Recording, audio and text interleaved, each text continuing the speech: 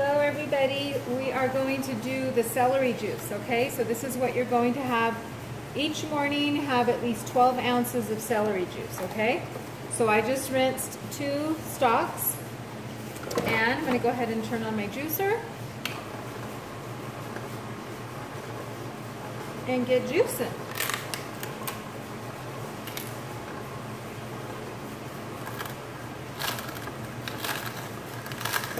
Have my glass measuring cup here. Celery is very, very good for alkalinizing our body.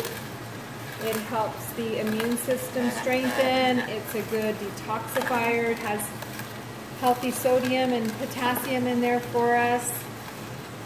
It's great for the digestive system, arthritic pain, joint pain, great for muscle recovery, for workouts. Isn't it wonderful how God just put everything perfect in all of the fruits and veggies that our bodies need to heal themselves and to function properly? You can see my slow masticating juicer is doing an excellent job with this celery. And even though it's a slow juicer, it doesn't seem very slow. Right over here you see this other mix I have that we're going to make next. But first you want to get your celery juice ready so that way in the morning you can have your celery juice. So yes, just straight celery. I know that might sound kind of weird, but you will be amazed at the benefits and how you feel and how smooth it is and how it just goes down and your digestive system feels so good. I think you guys will love it. So it is going pretty quick here.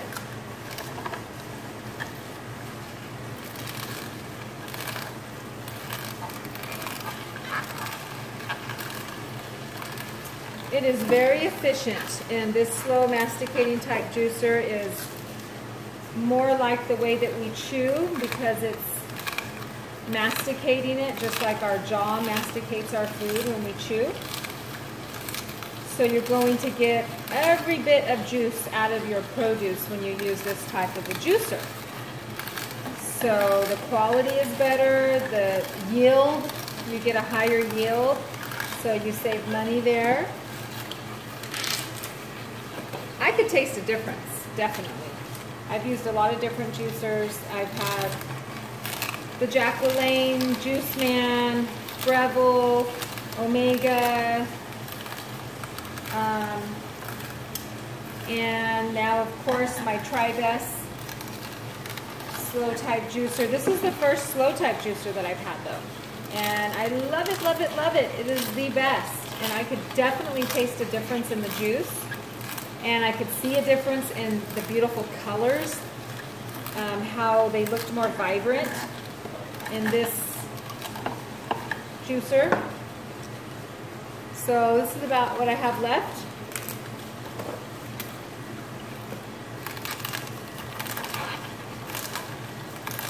You know, juicing does take a little time and that's something I think that just needs to be learned and it's it's a shift, it's a mindset that we have to think a little bit differently, guys, if we want to really be healthy and kill ourselves at anything and, and keep ourselves healthy. And we live in such a toxic world and we're being bombarded by chemicals in this everywhere, you know, in our food supply, in our air, and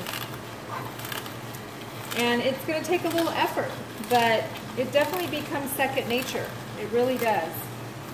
And you'll start to develop new habits. You'll start to enjoy being in the kitchen. I know that I do, and our kitchen should be a sacred space, somewhere that we love to come into and we enjoy being in. See how you can make your kitchen a place that you love to be and you look forward to going into, not just rushing in and out of. You know, it's not about fast food, it's about nourishing food and, and creating a beautiful living kitchen that you're excited to be in, you know? We're supposed to work for our food, you know, not have it instantly prepared for us. As you know, that food is pretty unhealthy. That most people, and maybe some of you are, are trying to transition from, you know, the fast food industry and having that instant gratification, but the body sure isn't grateful at all. Okay, so that was one stalk of celery. Okay, I have another stalk right here and like nine more over there. So I'm going to turn this off. And I'm going, going to show you right now how much that did. I like to put that little glass cup under there when I move that out so it doesn't make a big mess. Put the strainer right there.